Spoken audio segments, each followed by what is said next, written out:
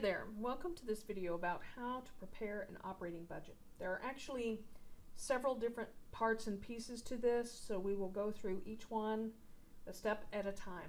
Problem has a scenario where we have various different pieces of information. We have our sale price, we have what kind of products, raw material products need to go into it, how long it takes to build it, our average labor price per hour, um, some sort of guidelines as to how to look at ending finished goods and ending raw materials inventories, which we'll get to in a moment. We have our expected sales units in quantity for all the different months as you see listed. And then we have some variable and fixed manufacturing overhead pieces of information as well as selling and admin expenses. So, got several things to do with this. The first thing that we want to do is come up with our budgeted sales revenue, and that's a pretty simple calculation. All it is is taking the expected unit sales times the sales price. So in the case of April, we have 300 units that we're expecting to sell, and our selling price is $30. So 30 times 300 is $9,000. So be sure to write these down because I actually have three related videos. For example, another one is actually going to go through how to create a budgeted income statement. So this budgeted sales revenue becomes very important in that calculation as well. Next, we need to come up with production units. If you've ever worked in a manufacturing facility, you know that if I produce 100 products this month, I'm not going to sell 100 products, most likely. So, part of what we're trying to calculate is given that we will carry some inventory, how much product do we actually have to produce? So, this gets a little tricky. You may actually have to just follow along with what I'm doing as far as this part is concerned, and you may have to listen to it several times as far as how these calculations are working, but this is the basic description as I can do it at the moment. Is so first of all, what we do is we take the budgeted sales units. So for April, May, and June, those have been given to us in the problem. Then it tells us that our ending finished goods inventory tells us that ending finished goods should be 50% of next month's sales. So 50% of next month we look at May and we go 400 is the expected sales. So half of that is 200. So in the month of April, I am considering my ending inventory needs to be at least half of next month's expected sales. What that does also is 50% is expected to be next month. I also need 50% of this month to be used. So 50% of 300 is 150. That's my beginning finished goods inventory. So 150 is my beginning finished goods inventory based on this month's unit sales of 300. So then I take the budgeted sales unit of 300 plus 200 minus the 150 and I actually have to produce 350. Even though my budgeted sales are going to be 300, I need to actually produce 350. Those calculations are the exact same process that you would go through for each month. Now, when you get to June, of course, you have to take into account the July sales units, expected sales units.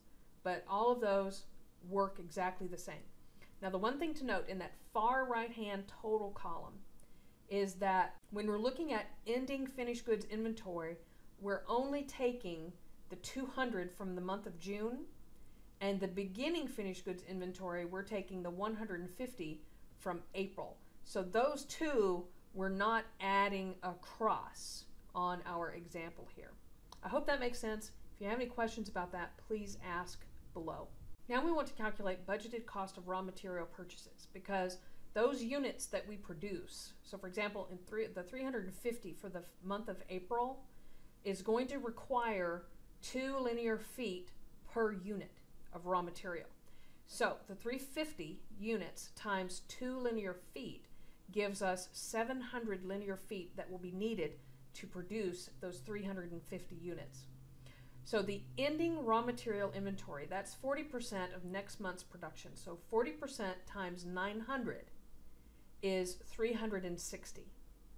And the beginning raw material inventory is 40% of the current month's production. So 40% of 700 is 280. So our budgeted raw material purchases is 700 plus 360 minus 280 gives us 780 linear feet. That's how much we will have to buy. Times a material cost of $2 per linear feet. So the 780 units or the 780 linear feet times $2 gives us $1,560 that we will have to spend in the month of April to procure that raw material. So the same process is worked out through each month. And again, those in the total column, you do not add across the ending raw material inventory or the beginning raw material inventory. Those are not added across. You take the ending raw material from June and the beginning raw material from April. Next, what we want to do is look at budgeted labor. Now, our labor is contingent upon what our budgeted production numbers are. So, when we calculated in part number two our budgeted production units of 350, 450, and 450, it requires a half an hour or uh, half of, you know, so we can't multiply it by one, in other words. So it doesn't take one hour of labor, it takes 0.5 hours of labor in order to produce those units. So the direct labor hours required to produce 350 units is 175 hours because that's 50% of 350. Then we take the 175 times the $15 labor rate and that gives us a budgeted labor cost of 2625 and those same calculations work all the way across. Now remember each of these things that are highlighted in yellow those are the things that are going into your problem set on the web and I would also keep track of these so write these down because uh, as I said before there's a couple of videos that are also contingent upon calculations being done here there's actually three problems that are related to each other now we look at budgeted manufacturing overhead. This is using the same production units, budgeted production units that we've calculated in part two. And those numbers are just continuing through. And we're multiplying those by the variable manufacturing overhead rate of 40 cents per unit. So the budgeted variable manufacturing overhead is $140 in the month of April. Then our fixed overhead is $667 per month. And so that's not per unit. That's going to be the same across all levels of production. Doesn't really matter there. So the budgeted total manufacturing overhead for the month of April is the 140 plus the 667 gives you 807. So that's how you do those calculations across. And again, the yellow ones are the ones that you want to write down make sure you know what they are. Now what we want to calculate is our budgeted cost of goods sold. So first of all, what we'll have to do with that is calculate our cost per unit. So each unit requires two linear feet of raw materials at $2 a foot, and so that's $4. Direct labor is 750 because it only takes a half an hour. So our average labor cost is $15 per hour, so it only takes 750 to create a product. The variable manufacturing overhead is 40 cents per unit. That was given to us in the problem. And our fixed manufacturing overhead, it was told to us that the, there was $8,000 of annual fixed manufacturing overhead for an expected production of 4,200 units.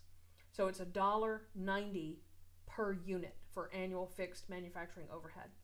So our budgeted manufacturing cost per unit is $13.80.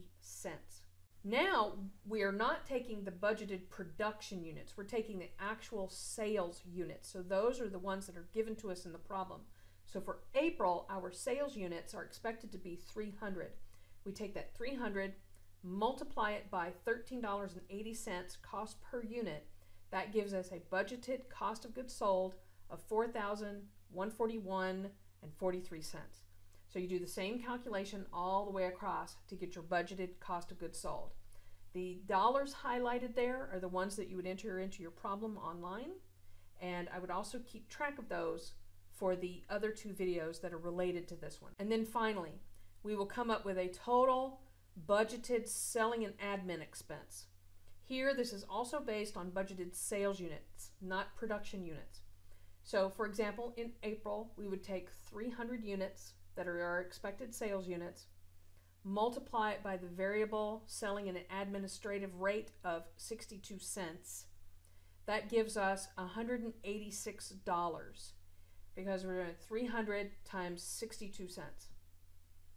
Then our budgeted fixed selling and admin expense is the same every month. So that $700, we would use that for each month. So for April, the variable selling and admin expenses is 186 plus the budgeted fixed selling and admin expense of 700 gives us a total selling and administrative expense for the month of April of $886. And that same calculation goes all the way across. And again, those yellow numbers are what you input online. And please keep track of those because there are two other videos that are building upon these this one problem. So be sure that you have your notes and that you've got all those pieces of information. I hope this helps to understand how you put together an operating budget. And an operating budget is is really that. It's it's the operation of your business. And it has to do with cogs, it has to do with production, it has to do with how much raw material you need to buy and all that sort of stuff. So it starts with the sales units, expected sales units, and you drill down into all the other parts and pieces. If you have any questions about that, please leave them below. I'll be happy to help you out, and I'll see you on the next video.